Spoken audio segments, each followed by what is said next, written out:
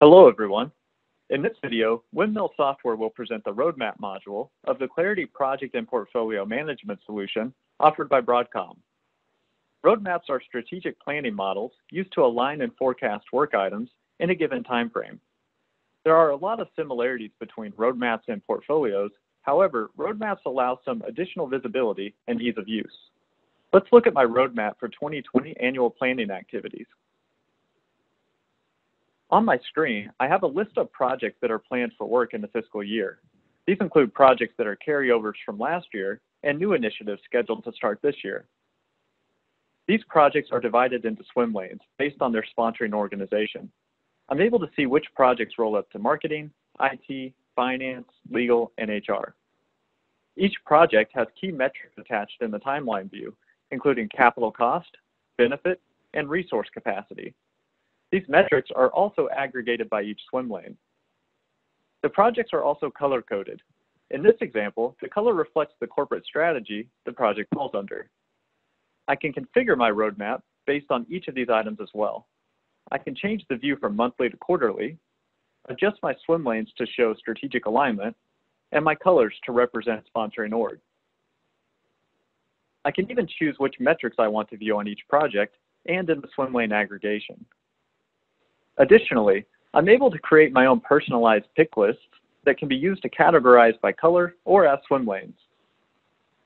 When I'm going through my planning activities, I want to track new ideas or potential work items in this view as well. Rather than going through an extensive routing process, I can keep placeholder work items on my roadmap. I simply click the plus icon and drag the new work item in the appropriate swim lane close to the expected start and finish dates. Once I do that, the properties pop-up is displayed, and I can fill out some summary level information like name, in this case, new roadmap item.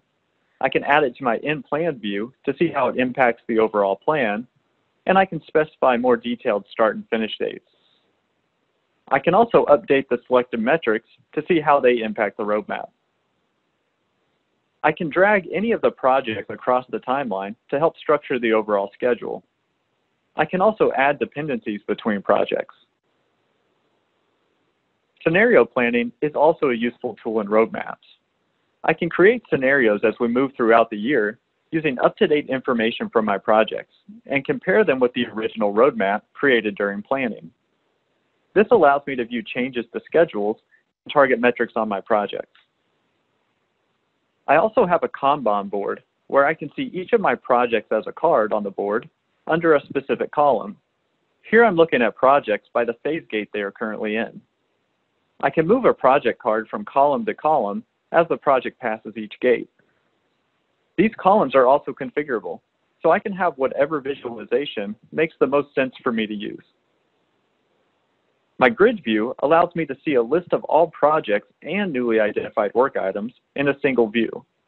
This view contains detailed information like sponsoring org, start and finish dates, ROI, and total cost, broken out by capital and operating costs. At the top of the screen, I have my targeted constraints.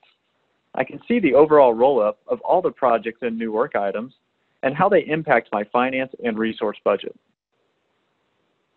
In this video, we have shown how Clarity PPM roadmaps can be used to model, align, and plan current and upcoming work. You can find more videos demonstrating other core components of Clarity PPM on our website.